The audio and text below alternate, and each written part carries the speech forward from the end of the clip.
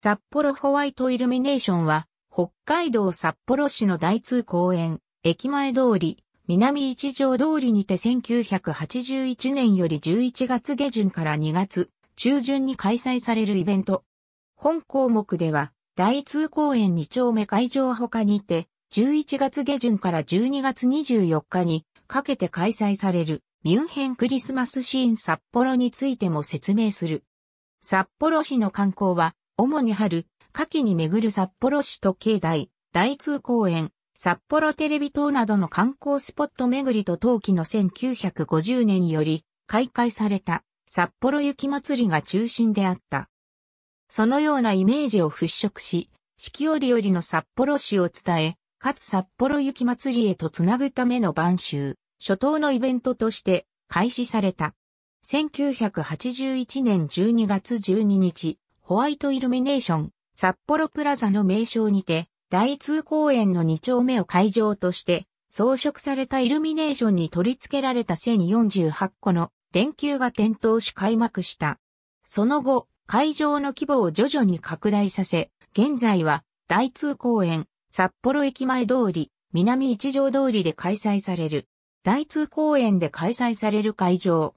一丁目会場では、11月下旬から2月11日、札幌雪まつり最終日までの約2ヶ月半開催。2008年は雪まつり後の3月31日まで開催されていた。2丁目から12丁目会場は11月下旬から12月25日までの約4週間開催される。約1ヶ月しか開催されないが、これは2月5日から11日に札幌雪まつりの大通会場として開催されることに伴う撤去、準備期間となるためである。一丁目会場、編集愛のツリー札幌は、一丁目にて、通年開催される協賛イベント。協賛イベントとしては、2002年より開始。単独としては、1988年から開催されている。2009年より正式会場、愛のツリー、札幌会場となった。愛のツリーとは、札幌テレビ塔前広場に設置されている3本の赤、エゾマツ。1988年に、広尾町より送られた2本を植樹し、その樹木に、イルミネーション用の電球を装飾したのが始まり。2002年に1本を追加植樹。2008年には電球から LED に変更された。イルミネーションは札幌テレビ塔展望台から望むとハート型に装飾されている。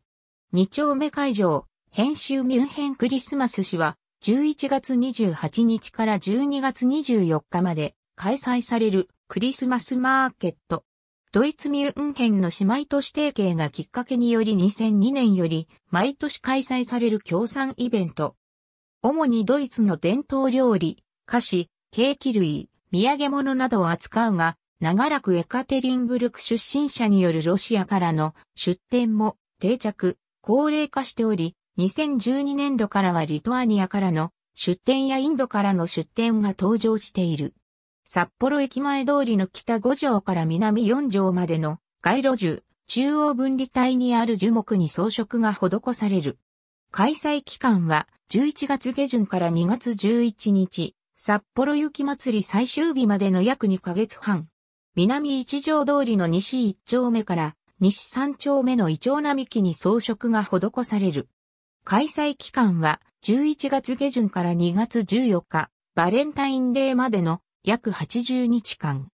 現在の点灯式の時刻は16時30分。点灯時間は16時30分マイナス22、30まで。クリスマス期間中のみ24時まで点灯する。ちなみに、コンピュータ制御で行われているため、点灯時間が終了の時刻になると、明かりが一斉に消える。ちなみに、2006年までの点灯時間は16時マイナス22.00であった。以前はエレクトーン奏者でのイベント、演奏会を行っていたが、2008年、札幌交響楽団コンサートマスターのバイオリン奏者、大平まゆみが、コラボレートミュージックとして選出され、エレクトーン奏者とのコラボ演奏を披露。2009年に札幌ホワイトイルミネーションミュージックアンバサダーに就任。2009年よりコラボレートソング企画として第2公演会場、イベント会場での楽曲の放送、ライブが実施される。また、コラボレートライブイベントが別会場にて開催される。